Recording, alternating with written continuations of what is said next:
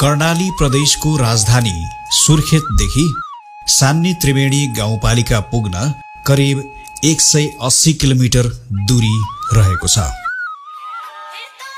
उक्त गाउँपालिका जान सुर्खेत दैलेख अछाम जिते बजार हुँदै सान्नी त्रिवेणी गाउँपालिका पुगिन्छ। यो गाउँपालिका साबिकको रकु मुम्रा र मेहलमुडी मिलेर बनेको हो।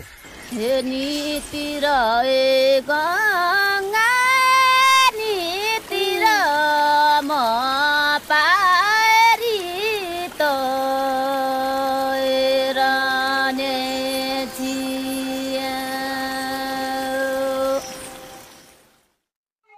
यो गाउँपालिकाको कुल जनसङ्ख्या बाह्र हजार आठ सय चौसठी रहेको छ।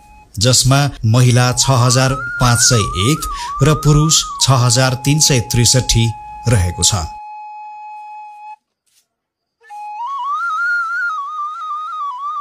यो ठाउँमा परापूर्व कालमा एउटा अज्ञात नामका राजा थिए। उनकी श्रीमतीको नाम सन्नी थियो। त्यही सन्नी नामबाट सान्नी राज्य भनेर घोषणा गरिएको थियो र यसै ठाउँमा सुन्दरताले भरिएको त्रिवेणी नामक हरियाली ठूलो पाटन पनि रहेको छ। सोही सान्नी राज्यले बसोबास गरेको ठाउँ र त्रिवेणी पाटनको नामबाट यस गाउँपालिकाको नाम सान्नी त्रिवेणी राखिएको हो।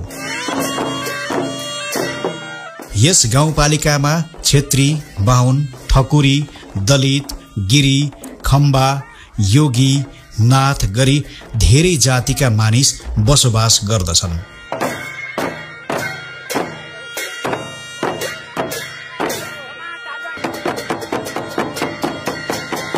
यिनीहरूको भाषा संस्कृति वेशभूषा रीतिरिवाजमा आफ्नै मौलिकता भरिएको छ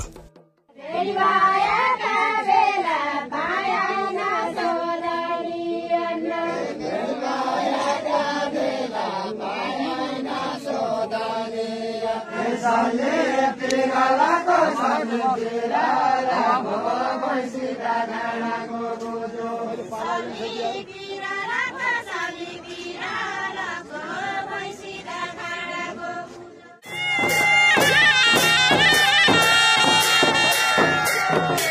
Yeah.